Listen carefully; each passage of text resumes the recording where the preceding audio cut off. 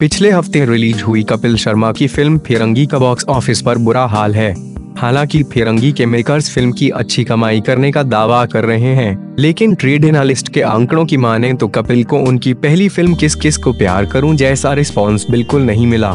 कपिल की पिछली फ़िल्म ने वीकेंड में 10 करोड़ रुपए से ज़्यादा की कमाई की थी जबकि फिरंगी वीकेंड में मुश्किल से 6 करोड़ से ज़्यादा कमा पाई। दरअसल कॉमेडी शो बंद होने के बाद फिरंगी का पिटना, कपिल का करियर ढलान की ओर बढ़ने का संकेत है। कभी टॉप कॉमेडियन माने जाने वाले कपिल के करियर ग्राफ को देखकर लग रहा है कि अब वे अपने को एक्टर सुनील ग्रोवर का मुकाबला करने में भी नाकाम साबित हो रहे हैं। लोग कपिल के एक्टिंग की तुलना सुनील के साथ कर रहे हैं। कह रहे हैं कि कपिल इस मामले में गुत्थी से काफ़ी पीछे हैं। क्यों हो रही है सुनील ग्रोवर से तुलना? दरअसल, कपिल अपने करियर में अब तक महज दो फ़िल्में कर पाए हैं। जबकि सुनील ग्रोवर ने करीब तेरह से ज़्यादा बॉलीवुड और पंजाबी फ़िल्मों में काम किया है। फ़िल्मों में सुनील को जोरदार भूमिकाओं के लिए सराहा भी गया। हालाँकि कपिल ने लीड हीरो के तौर पर फ़िल्मों में काम किया। गौर किया जाए तो जब से सुनील से अनबन हुई है, लगभग तभी से कपिल के सितारे गर्दिश में नज़र आ रहे हैं। पहले शो का बंद होना, फिर फ़िल्मों का भी ना चल पाना, कॉमेडी किंग के लिए बुरा संकेत है। क्या इसका मतलब ये समझ लिया जाए कि कपिल धीरे धीरे अपनी फ़ैन फॉलोइंग गंवा रहे हैं या फिर उनका लक्ष्य सुनील ग्रोवर थे जो अब उनके साथ नहीं है?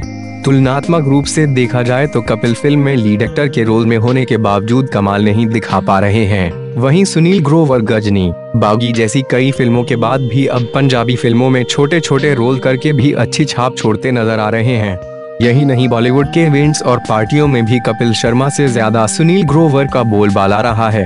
वह जिस भी शो में जा रहे हैं वहाँ धमाल मचा रहे हैं। फ़ोटो एक इवेंट में सुनील ग्रोवर। न सिर्फ़ प्रोफेशनल बल्कि पर्सनल रिश्तों में भी सुनील की कमिटमेंट नज़र आ रही है। अब भारती सिंह की शादी का ही उदाहरण ले लें। भारती कपिल और सुनील दोनों की करीबी दोस्त रही हैं, लेकिन उनकी शादी में सुनील ग्रोवर तो मौजूद थे पर कपिल किसी भी समारोह में नहीं दिखे।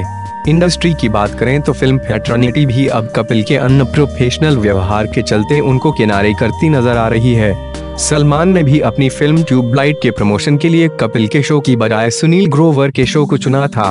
कपिल खुद की नासाज तबीयत को उनकी प्रोफेशनल कमिटमेंट पूरा न कर पाने की वजह बताते आए हैं। लेकिन सिर्फ़ तबीयत ही नहीं, बल्कि सुनील ग्रोवर से अलग होने के बाद भी कपिल के लिए उनका पहले वाला स्टारडम वापस लाना नामुमकिन सा नज़र आ रहा है।